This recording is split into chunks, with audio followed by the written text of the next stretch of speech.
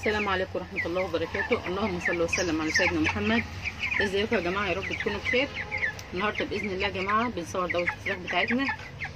آه النهاردة طبعا زي ما أنتم عارفين النهاردة عمرهم 21 يوم. طبعا كلكم جايبين وعارفين. آه يعني النهاردة عمرها قد إيه؟ بس قبل ما ندخل الفيديو يا جماعة يا ريت كلكم تعملوا لايك للفيديو. واللي لسه بيشوف قناتي لأول مرة يا ريت يعمل اشتراك للقناة ويفعل الجرس عشان يوصله كل جديد. تعالوا يلا يا جماعة نشوف هنعمل النهارده في الحلقة بتاعتنا إيه. آه طبعا يا جماعة يعني أنا يمكن بقالي يومين ما صورتهملكوش آه بس معلش والله يا جماعة ده يمكن كانت في ظروف وكان غصب عني إن أنا ما صورتهملكوش بس إن شاء الله يعني آه الحمد لله هنصورهم النهارده. وهقول لكم بإذن الله هنعمل إيه. اليوم اللي أنا ما صورتش فيه يا جماعة يمكن أنتوا تعرفوا على طول إن أنا بكرر نفس الوصفة اللي أنا عملتها لكم آه قبل كده. يعني أنا بقول لكم الوصفة اللي أنا بعملها بنعملها مرتين في الأسبوع. اليوم اللي أنا ما بصورش فيه يمكن أنا بكرر الوصفة آه لتاني مرة. آه النهارده بإذن الله يا جماعة هنعمل إيه بقى في العلب بتاعنا للفراخ بتاعتنا؟ هنعمل آه نبشر بقى البصل والثوم والليمون زي ما أنا قلت لكم. آه أنا عاملة أهو يا جماعة. آه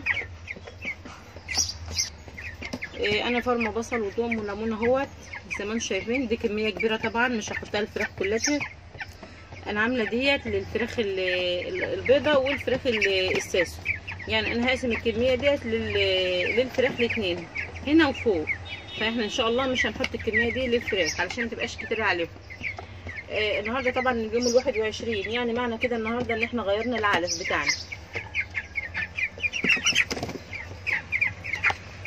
اهو يا جماعة. إحنا غيرناه من بادي لنامي. يعني ده العلف ده نامي. اللي أنتوا شايفينه ده. آه طبعا آه هقول لكم أنا عملت النهارده الثوم والبصل والليمون ليه. على ده نفس النوع يا جماعة عشان محدش يغير يعني يفكر ان أنا غيرت العلف من نوع تاني. ده نفس النوع اللي أنا ماشيه عليه من أول الدورة ده العناني وأنا قلت لكم يا جماعة ما ترتبطوش باسم معين. لأن في ناس بتقول أنت بتستعملي علف إيه؟ أنا قلت لكم يا جماعة يعني ممكن العلف اللي أنتوا بتستعمله ما يكونش موجود في المنطقة اللي أنتوا فيها. أي نوع علف موجود في المنطقة اللي أنتوا فيها بس يكون كويس استعمليه ما عدا النوع اللي هو الرديء. عشان النوع الرديء ده يا جماعة ممكن يجيب سموم للفرخ وما يخليش الفرخ يكبر معاكي ولا حجمه يزيد معاكي. فانت أو اي نوع علف كويس نضيف انت بتفضلي بيجيب معاكي نوع يعني نتيجة كويسة استعملي من بداية الدورة لآخر الدورة. إحنا بس بنغير العلف إيه إمتى؟ من بادي النامي ومن نامي الناهي دي بس اللي إحنا بنغيره. بس هو النوع واحد هو هو دي بس عشان إيه الناس يعني لو في ناس جديدة ولا حاجة بتشوفنا لسه لأول مرة. فأنا يا جماعة بعمل الثوم والبصل الليمون النهارده ليه؟ زي ما قلت لكم أنا عندما باجي أغير العلف من من نوع يعني من بادي اللي نامي بفضل أعمل 3 أيام متواصلين بفرم توم وليمون. ليه؟ لأن التوم والبصل والليمون ده يا جماعة ده مضاد سموم لوحده. في نفس الوقت مضاد حيوي. بدل ما تشتري مضاد سموم من عند البيطري لأن يعني عندما تيجي تغير العلف بنجيب طبعا مضاد سموم في ناس ما بتجيبش ولو فراخها ماشية كويسة ما تجيبش. بس الأفضل لك إن أنت عندما تيجي تغيري العلف تعملي بصل وتوم وليمون. لأن زي ما قلت لكم التوم والبصل والليمون ده مضاد سموم لوحده. بتعملي مده 3 أيام وبتدي الفرخ ياكل والمية. بتحطها له على ال ال المية اللي هي بتبقى بتاعة البصل اللي هي بتاعة الفرن. دي بتحطها على مية الشرب بتاعتهم. إنما الخشنه بتقلبها في العلف. زي ما أنا هعمل قدامكم كده يا جماعة. ده حاجة مهمة جدا لازم كلكم تعملوها وتمشوا عليه. ده مضاد سموم طبيعي آه مش هيكلفك ويبقى كويس كمان للفرخ في نفس الوقت. آه مضاد حيوي طبيعي. تعالوا بقى أقول لكم هنعمل إيه بالظبط.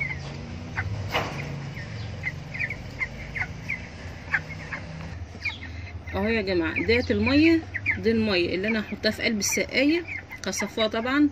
دي المية اللي أنا هحطها في قلب السقاية وده الخشنة اللي أنا هقلبها على العلف قدامكم دلوقتي أقول لكم هعمل إيه. طبعا أنا قلت لكم مش هاخد الكمية دي كلها أنا هاخد نصها للفراخ ساسو وللبط برضه عندي هعمل نفس الشيء وهاخد نصها للفراخ اللي هنا قدامكم ديت. أهو يا جماعة أنتوا لو أنتم ملاحظين الطم أهو يمكن الحاجات دي أنا فرماها يعني عاملاها على المفرمة. لو أنتم مش حابين عشان ما تعملش معاكم مية كتير ممكن تعملوها على مفرمة زي ما أنا ما عملت كده. اهي. الريحة ديت طبعا عصر عليها ليمون وبشرة توم والبصل والحاجات دي كلها. الريحة دي الوحيدة بتخلي الفرخ لو حتى مش جعان بياكل. بتحب ريحة البصل وبتحب ريحة الثوم ال- ال- الط- طبعا ال- المضاد سموم لو انت بتجيبيه من عند البيطري هتيجي تشم ريحته تلاقيه كله توم كله توم ريحته ريحة التوم بالظبط. فإحنا الأحسن بنعمله على ايدينا طبيعي في قلب البيت. اهو يا جماعة فركناه كلته في قلب ال- العلف اهو. حتى الفراخ لما بتلاقي حتة خشنة ولا حاجة بتاكلها بيفضلوا يجروا وراها كده يعني بيبقوا فرحانين بيها. هنحط الفراخ بقى.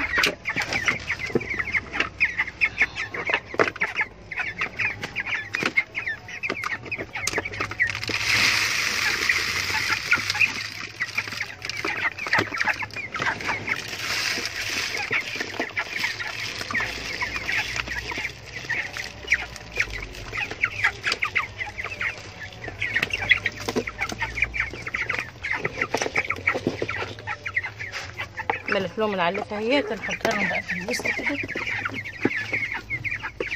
ياكلوا كلها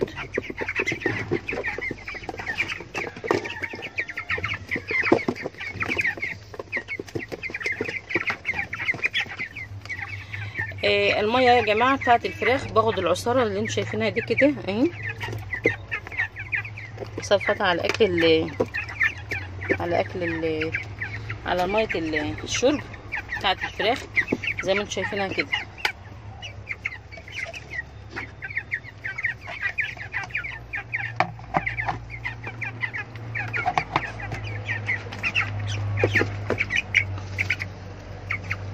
آه أنتوا شايفين يا جماعة؟ بسم الله ما شاء الله. الفراخ كلها ملمومة على العلف. آه يمكن بالأكتر إن هي ملمومة على ريحة الثوم والبصل والليمون. ما شاء الله دي الوحيدة بتخلي الفرخ ياكل لما يقول بس. يلا يا جماعة بقى تعالوا أوريكم آه دواء الكوكسيدي اللي أنتوا كلكم طلبتوا مني اوريه لكم آه طبعا أنتوا كلكم قلتوا دواء الكوكسيديا دوت آه، اسمه إيه أو الجرعة شكلها إيه. الاسم بتاعه يا جماعة أهو اسمه يوكوكس. لو أنتوا حابين تجيبوه ولا حاجة أهو قدامكم أهو.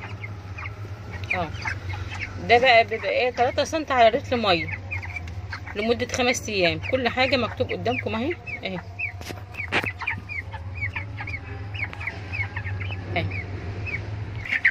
يا جماعة الاسم اهوت عشان بس يعني في ناس كتير سألت على الاسم.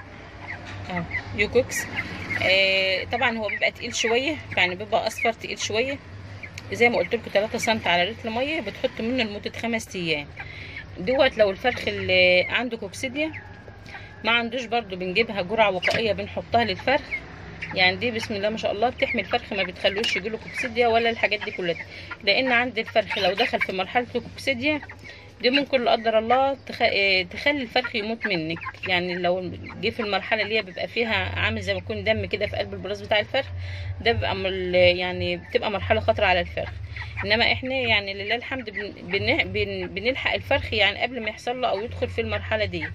إن إحنا بنجيب له حاجة زي دي.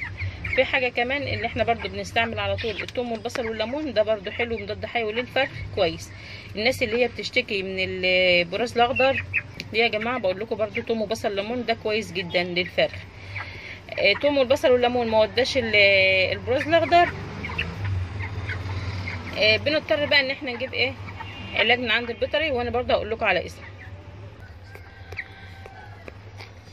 طبعا يا جماعة في وعيه تانية للفراخ عشان ما حدش يقول ده الوعيه دي مش مكفية ولا حاجة. في علافة تانية إن شاء الله أنا همليه وأحطها جرهم هناك هي المكان بتاعه هناك اهوت بس عشان ما حدش يقول لأ ده اللي هو بسم الله ما شاء الله بدأ يخلصوا نص العلافة أهوت قدامكم. يعني بسم الله ما شاء الله. زي ما قلت لكم يا جماعة لو أنتم مشيتوا على ال على الوصفة اللي أنا بقول لكم عليها دي دي ما شاء الله كويسة جدا للفرخ ومش هتخلي الفرخ يبرد معاكي عشان الناس اللي هي بتشتكي من البراز الأخضر ال- العينين اللي هي بتبقى حمراء ومدمعة دوت برضو بيبقى إيه يعني من ضيق المكان والجو حر. فأنا بقول لهم برضو وسعوا المكان وبرضو افرموا توم وبصل وليمون ده كويس جدا لل- للظروف اللي زي دي. آه، أنا كنت قلت لكم يا جماعة على الدواء على الاسهال الأخضر. أنا كنت يمكن عملت حلقة لما أنا قلت لكم الفراخ كانت تعبت مني ومش عارفة إيه وكانت هتموت. يمكن أنتوا أنا هجيب لكم الاسم بإذن الله لأن في ناس سألت كتير أو أنا هكتبها لكم إن شاء الله في التعليقات. الدواء ده جميل جدا يا جماعة وبيودي الحاجات دي كلها.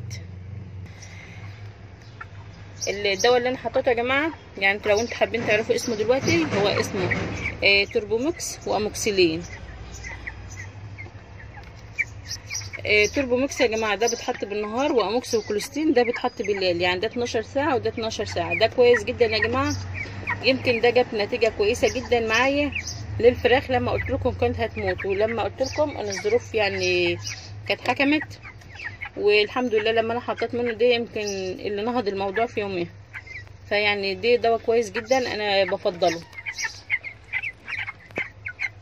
ده كان الفيديو بتاعنا النهارده يا جماعة. يا رب يكون عجبكم ويا رب يكون استفدتوا منه. لو بمعلومه بسيطة السلام عليكم ورحمة الله وبركاته.